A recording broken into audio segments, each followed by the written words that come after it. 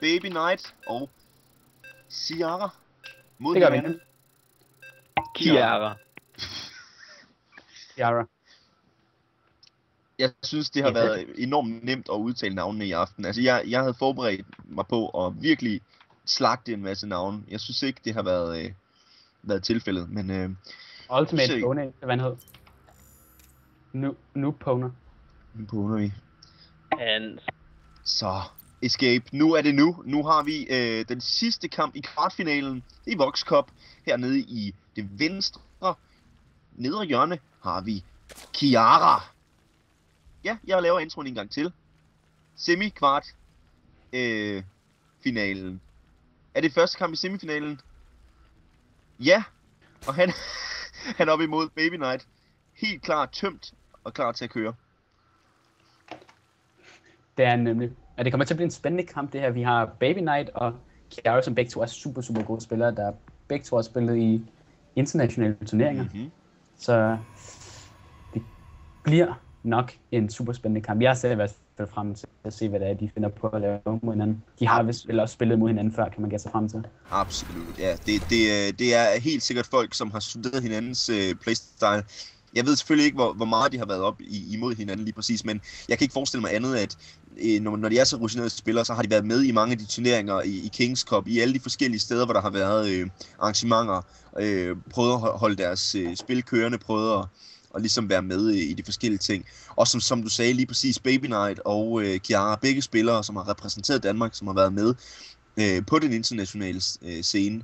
Og øh, det er også derfor, at det er et kæmpestort privilegie og super spændende at være, være en af dem, der kan få lov til at, at kaste dem i det her spil her. Øh, men umiddelbart, øh, så ser vi ellers bare en, øh, en Forge øh, for øh, Baby Knight. Det gør vi nemlig. Og som du siger, så er det rigtig dejligt at få lov til at kaste de her guys. Øhm, Baby Knight er vist lige vendt tilbage fra, uh, jeg kan ikke huske, VCG, World Cyber Games, er ikke... Øhm, i må lige rette mig, hvis det ikke er det, men så vidt jeg husker, så er Se det der. Baby Knight, får den pejleren op at køre, eller om han bare beslutter sig for at være en drillepind herovre på øh, Baby Knights, nat, undskyld, øh, Kiaras Natural Expansion. Uh, formår Den blev lige blokket der. blok to Igen? gange. Godt for Baby Knight. Og han har valgt Forge Fast Expand. Det er også en rigtig god map at gøre det på. Den er super nem at blokke sin ramp med. Absolut. Super nem. Så meget standard spilstil for vores, øhm, begge vores spillere her. lige præcis to expansions op at køre. Det trækker op til en stor makrokamp her på Shakuras, eller som jeg godt kan lide at kalde den, Shakiras plateau her. Øh, så øh, de skal nok... Shakira, Shakira! Det trækker i hvert fald op til at blive en god kamp, tror jeg. Absolut. Eller øhm, det er jo faktisk en øh, best out of 3, skal vi lige huske at, at minde os se om. Så øh, det, øh, det er ikke den afgørende kamp på nuværende tidspunkt. Men øh, der er jo penge på spil. Altså, øh, øh, begge disse spillere har mulighed for at, øh, at vinde noget. Øh, det er 350 kroner til første præmien, og anden præmien løber med de 150 resterende. Så øh, 500 kroners total prize pool. Øh, vi har alle sammen smidt lidt i, øh, i gryden for, for det her op at køre. Og øh, i det hele taget har det været en enormt hyggelig aften. Altså, vi har set nogle rigtig fede øh, kampe. Vi har haft nogle rigtig, rigtig, rigtig, rigtig god stemning i det hele taget øh, for de her spillere her. Øhm, og folk har været rigtig tålmodige med de små problemer, der nu skulle have været med... Øh, med Så mig, der mister mit internet halvvejs igennem en For virkelig eksempel? spændende kamp. Muligvis. Det kunne være. Det kunne være, at det var det, du hentyder lidt til der. Um, Ja. Der var, øh, der var grønne grise, der, øh, der du ikke nu. Nu må vi se, om Baby Knight formår rent faktisk at deny den anden expansion for Kiara for når så at få den op. Men øh, det er så øh, den tredje base af 5 minutter og 20 Meget standard response at tage en tredje expansion, eller Mm. mm. så være en anden expansion, når der man ser, at Proto-spilleren han går Forge Fast Expand. Fordi Absolut. Der er så lang tid til Proto-spilleren han kan lægge noget rigtig pla- øh, pres på. Ground Så- Weapons level 1 kommer op her for Baby Knight øh, og i Nickel Cellar. Nu må vi se, øh, hvad det betyder. Det bliver jo i, øh, hvis, hvis, hvis, hvis, jeg, hvis jeg tror det, så, så bliver det nok en eller anden form for timing øh, øh, warp, øh, warpgate øh, ting, der, der kommer til at ske med, med den der plus one ground øh, weapons. Nu, nu må vi se. Det kunne det snilt være, ja. Øhm, vi ser, han har lagt ud med to gas i sin main. Han har ikke, været, øh, ikke taget nogen gas i sin natural endnu. Så jeg regner ikke med, det er noget super gasintensivt, især nu, hvor han bruger så meget af sin gas på de upgrades her. Tre, øh, øh, øh hvad hedder det, extractors for øh, at komme op på samme tid. Har kørt rene mineral starting til der, så nu, først nu har han transferet alle sine drones over på det der gas der. Så nu må vi se, hvad han laver en transition til på nuværende tidspunkt. Ingen tech whatsoever fra Kiara, men der kommer jo nok en lærer, det er også det, vi ser lige nu øh, fra, øh, fra Kiara. Ikke? Og vi ser rigtig godt spil for Kiara. Han tager kun og bygger de units, han har brug for. Han tager nogle circles til at um, gøre noget ved den her cellet, der er i hans hand expansion nu. Og så lige nogle celler, øh, nogle um, circles til lige at poke op og se, hvad det er, Baby Knight laver. Så han laver ikke flere units, end han har brug for. Lige præcis. Han holder et godt overblik. Han, han har det her meget konservative, meget stille og roligt reaktionære spil, som en god øh, søgspiller skal være vant til at bruge. Øh, Sellerden har endnu ikke øh, fået den der plus one, og hans dage er sandsynligvis talte med det her link count her. Rigtig god placering til gengæld. Ja, Nå, for taget en masse circles. kills. Ikke dårligt. Den tjener sig i hvert fald ind, kan man sige. Helt sikkert. Vi ser forresten også, at Baby Knight valgte at bruge sin Chrono Boost på både hans Gateway og hans Fortran, endda Chrono Booster to gange må det være. Um, så det kunne blive et timing push, det her. Det er helt sikkert øh, den her øh, warpgate, der bliver prioriteret. Der er helt sikkert en timing push på mig. Øh, vil jeg ikke at... Og, og der, nu må jeg altså lige sige, at har lige lagt mærke til, at han har seks gateways, og mit tilbage sin tilbage til sine syv gateways allerede. Ja. Og det er altså Det- ikke noget, som er blevet scoutet af, af Kiara på noget tidspunkt. Han scouter dog de her to proxy pylons her, og det kan altså godt være en game changer på nuværende tidspunkt. Men, Men nu ser han alle de her warplanes. Han ved godt, hvad, hvad der er på vej nu. Vi ser ham også have 11 roaches i production. Ja. Så han ved godt, hvad Baby Knight pynser på. Jeg tror, Kiara er sådan en spiller, der holder hovedet koldt i sådan en situation her. Jo, øh, 10 roaches er en, en, en, en reaktion, der vil noget. Øh, og, og, og, og bare det, at han har produceret alle de her roaches, er jo nok til at, at give Baby Knight kontrol over spillet, ikke? Det, at Baby Knight, han får sig alle de her roaches her, det lægger hans, hans øh, modstanders makro bagud. Og med de her stalkers her, så kan det altså godt ende med at give øh, Kiara noget sved på panden. Han har lavet et rigtig, rigtig stort antal øh, roaches på nuværende tidspunkt, og hans drone production er, fuldstændig stoppet, men, men han har også nået at få saturated sin anden expansion på nuværende tidspunkt. Så nu må vi se, om han har tænkt sig at gøre noget. Åh, hold da kæft, der er mange stalkers på nuværende tidspunkt. Det skal nok Ja, blive spændende, det her. Og hvis øh, han, han vil virkelig gerne frem og tvinge den her fight. Han vil virkelig gerne tvinge Kiara til at lave en fight her, nu hvor han har et, det større nummer. Og vi ser, at han bliver ved med at producere øhm, Rogue imens, så godt nok ikke nu, men lige før. Så han holder alligevel sin macro lidt op nu. Absolut. Og lige yderligere roaches på vej, og det er altså et tegn, der til for Baby Knight lidt tilbage. Rigtig, rigtig øh, øh, smukke force field springer sådan hen tårer til mine øjne, og øh, han formår at holde den kørende. Jeg ved ikke om han bliver ved med at producere probes derhjemme, så øh, han kan godt fortsætte det her pres her.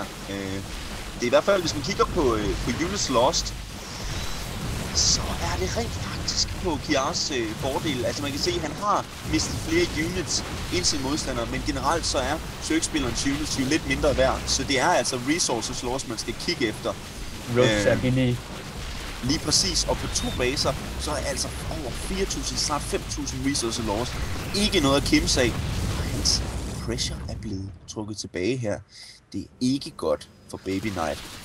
Overhovedet ikke. Og nu har Kiara altså den her, her, her. Han kunne altså godt gå hen og lægge noget pressure på nu. Fordi nu er det ser det ud som, at Baby Knight kan vælge at lande Mac for den her facility job, producerer probes. Men han er så oversaturation på både sin ikke helt sin main, den er rimelig godt saturated, måske skulle mangle lidt, men på sin natural, og når han bliver ved med at producere probes, bliver han altså nødt til at få en ny expansion for at kunne få dem transferet. Absolut. Altså, øh, Baby Knight missede helt sikkert en mulighed for at expande, da han var ude øh, og presse sine modstandere. Det er der, man typisk expander. Man laver det der push, og så expander man øh, samtidig for ligesom at, og sikre øh, spillet på, på lidt længere sigt. Så må vi se, hvordan han kan reagere. Det er stadigvæk ren roach øh, fra Kiara. Ikke nogen øh, øh form for tech switch på noget tidspunkt. Og det betyder altså, at han er vulnerable over for de her fantastiske force fields fra Baby Knight. Og med den her wall-in, så tror jeg godt, at øh, Baby Knight kan holde den lidt længere. Mister dog sin Cybernetics score. Men altså, selvom han holder den nu, så har han mistet map control, hvilket giver Kiara muligheden for at expand frit. Og vi ser også, at han expander helt øverst op i venstre hjørne. Og hvis han bliver ved med at beholde den her map control, altså Kiara, så kan det altså være game breaking, fordi nu er det sådan, at Baby, Baby Knight har altså for mange probes. Mm, Han absolut. bliver nødt til at expand, og Der ser vi også ser en vi pro. også. Ja. det kunne være, det er måske en farlig expansion at tage det her. Det, det, det er faktisk uenig med dig i. Altså, jeg, jeg tror, øh, når man tænker på de pylons, der er lige her, så kan han warp ned. Han har øh, ikke særlig langt fra sin øh, natural expansion over i den her expansion her. Hvis han havde den anden derovre, så kunne nogle hurtige links altså meget hurtigt løbe hen og øh, komprimere øh, den, den øh, sydlige expansion. Så ja, nu, nu begynder det så at se lidt farligt ud, de her roaches Det gør det. Der er super mange roaches. Vi ser også, at Kiara, han laver simpelthen ikke nogen drones. Han laver bare roaches lige nu. Han spammer bare roaches og upgrades lige nu. Ja. Det er ikke et all-in overhovedet, men han vælger at vente en lille smule med at saturate sin nye expansion helt. Mm. Laver nogle transfers med lige over på extractorne i hvert fald. Fire Absolut. drones på den ene extractor, det er da en fejl. Den er han nødt til at fikse. Jeg Men han står i virkelig- hvert fald foran nu, og han Absolut. bliver ved med at producere roaches. Jeg kunne virkelig, virkelig godt tænke mig at se øh, plus 2 øh, til øh, Baby Nights her. Øh, det vil gøre en enorm forskel imod de her roaches her. Øh, og få en, en ekstra øh, plus ground attack. Øh, simpelthen bare fordi, at springet fra plus 1 til plus 2, det er altså alligevel radikalt nok, især på de der Immortals, til at, at det kan gøre en, en forskel. Men rigtig flot Immortal-nummer ellers, det kan s- i kombination med de her rigtig flotte force fields gøre en kæmpe forskel. Det her attack Det vil i hvert fald sagtens. holdt tilbage meget nemt. Og problemet er her nu, at Jarrah han er fokuseret på kun at lave de her roaches. Øhm, altså det vil sige, at han har ikke fået produceret nogen drones i de sidste lang tid, så hvis Baby Knight kan blive ved med at holde, holde den, blive ved med det, så kan han altså godt komme foran i macro-gamet igen. Det kunne han sagtens. Øh, nu Vi må ser vi se om... 17 roaches i produktion, plus der lige er poppet en masse andre. Det er altså over 20 roaches, der bliver produceret her. Et Spire og ingen drones. Kiara prøver desperat at deny de her expansions her, men det kan være, at han åbner kommenterne lidt. Det kunne være, at han skulle falde lidt tilbage og satse på den der fantastiske makro, han har. Satse på måske få lidt mere tick. Han sidder stadigvæk fast på roaches, og øh, ah, jeg ved sgu ikke, missede, at, det skal lige siges, at vi missede et sweet drop op i Baby Knights main, Oh. som jeg lige kigger på nu, hvor han mistede sin main nexus. Øh, Det er altså super farligt det her, især fordi han har to pylons til at power alle sine gateways. øh, Og hvis um, Kiara får taget dem, den er væk. Og er to, foran. Gør. det var et rigtig, rigtig sweet drop. Og så lige for at smøre lidt salt i, øh, i såret her, så har- øh, laver han lige et legendary creep på sin modstanders base, så han ikke med det samme kan få den der main op og køre igen. Og vi har et GG første kamp af semifinalen her i Vox Cup øh, Baby Night mod Kiara. Rigtig godt Det, man spillet. har ikke spillet den, den der kamp, den var sgu Super god. godt drop. Seriøst, øhm, det drop der fik gjort, så han ikke kunne få nogen reinforcements ind, så rykker han øh, Kiara eller Spine ved sin her. Så hvis han havde fået taget den, og Baby Knight stadig var i spillet, så ville han ikke kunne få nogen. Detaljer. Detaljer, Så detaljer. øh, Styler, Bonnie har aldrig været fyren for detaljer. Keeler det for... Øh, vil du gerne kaste den her, eller? Er det ikke bare jer to igen? Og nu, øhm, Det siger vi. vi ser altså øh, Baby Knight op i det øverste højre hjørne, som desværre tabte sidste runde. Absolut. Et interessant matchup øh, på Sanaga Caverns. Vi ser Kiara hernede efter en, øh, en øh, rigtig, rigtig flot sejr i første kamp. Øh, parat hernede i øh, nederste venstre hjørne her på Sanaga Caverns. Så, øh, fantastiske spil indtil videre, og øh, eftersom vi lige så stille snegler os mod i en finale, så er jeg simpelthen fuldstændig overbevist om, at øh, det ikke er det sidste epicness, vi kommer til at se i aften. Jeg er simpelthen jeg er fuldstændig jeg synes simpelthen, det er fuldstændig forrygt, at, at vi, har, vi har været i stand til at samle de her spillere og få stand til at, at få de her spil. Og bare tanken om, at det her det bliver optaget på video og lagt ud på internettet, det giver mig simpelthen små baby blæksprutter i maven. Ja. Erektion. Ja, jeg, jeg må sige, at jeg er glad for, at der er så mange, der har vist interesse og meldt sig til. Mm. Øhm, tak til alle jer, og også jer, der bare sidder og kigger på. Tak til jer også. Det er fedt, at danskerne har så stor interesse inden for StarCraft. Øhm, hvilket vi øhm, prøver egentlig bare på at samle den danske community lidt, og det er virkelig fedt, at se, at folk de gerne vil sidde og se det og spille det. Lige præcis. Altså, når, vi, når, vi, når jeg ser på uh, Tommy, og hvad, alt, hvad han har fået til at ske på så kort tid, øh, med Barcraft, fået samlet folk øh, til at se turneringer. Også, øh, også bare fordi, at så kan folk ligesom se øh, udenfra, når de går forbi de her bar her, at der er et eller andet, der sker med det her e-sport. Der er et eller andet, øh, som bevæger sig, øh, som er noget andet og som er noget nyt. Og øh, det er sindssygt fedt at se, og jeg håber, at, at folk vil støtte os ved at gå ind på Facebook, gøre os fans, være aktiv på øh, de forskellige Facebook-grupper, øh, StarCraft Danmark, StarCraft La- Lounge, øh, Aarhus og København, København. øh, Copenhagen, jeg ved ikke, om han har kaldt den Copenhagen, det tror jeg, han har. Det er København. Copenhagen. sådan en, øh, Bare ikke Aarhus. At, siger I altid Copenhagen, jeg er københavner? Jeg har lidt en fornemmelse af, at I bedre kan lide at sige Copenhagen.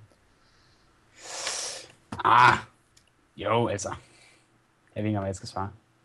Vi har en, vi har en bar inde i midten af Aarhus, der hedder Copenhagen. Det gør mig sindssygt irriteret at se. Når jeg kommer til Aarhus, så rammer jeg den bar. Jeg siger det bare. Okay, men vi ser meget standard spil for begge vores spillere. Øhm, så, øh, Gateway til Cybernetics Core for Baby Night. Vi ser to Extractors, øh, Assimilators oppe. Mm. Og vi ser en expansion fra Chiara, hvilket... Nu fik jeg ikke lige sagt det, men jeg vil sige, det er, altså, selvfølgelig er det godt at tage sin expansion i starten, men det er en meget farlig bane at gøre det på, når nu der er så mange indgange. Øhm, især hvis nu det skulle være, at vi ser noget som, lad os sige for eksempel, en forgate fra vores protospillere, så kunne det være lidt farligt at have den der totalt ekstremt vulnerable øh, expansion. Ja, der er, der er simpelthen en, en opildnet diskussion øh, på vores på vores chatroom om, øh, hvad, øh, hvordan det, den korrekte udtalelse er. Øh, jeg vil også...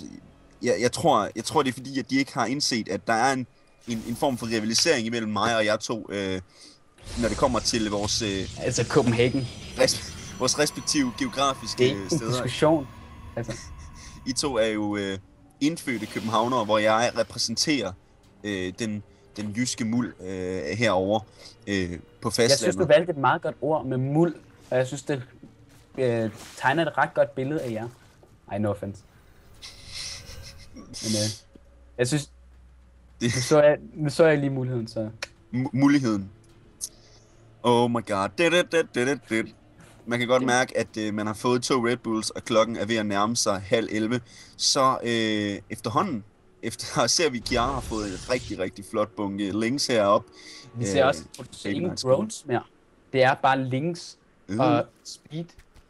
Øhm, og jeg vil sige, hvis han går efter at dræbe Baby Knight her nu, så kan jeg ikke se mening med den øh, expansion, han har der, fordi han har overhovedet ikke nogen drones på det overhovedet.